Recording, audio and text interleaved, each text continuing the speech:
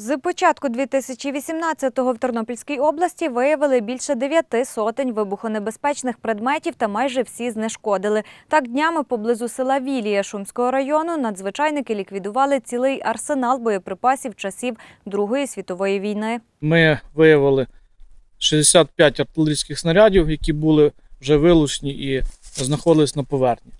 Під час проведення технічного обстеження е, станом на 19 число на даній території було виявлено 350 артилерійських снарядів калібром 45 мм.